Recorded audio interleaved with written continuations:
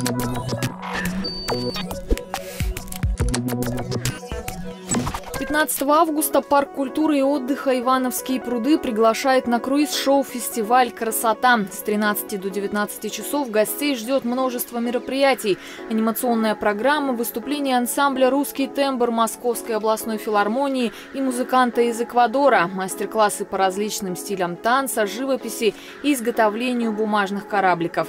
Организаторы фестиваля обещают, насыщенная программа будет интересна и детям, и взрослым. Подробная афиша мероприятия в соцсетях «Маук» в парке Красногорска.